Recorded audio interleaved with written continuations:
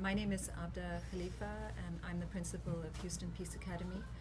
Uh, we've been using a photo- photocopier that we've leased from ABM for about four years, and um, we're very pleased with the machine. We're very pleased with the service. It's always prompt and um, courteous, and we've had a very good experience with ABM.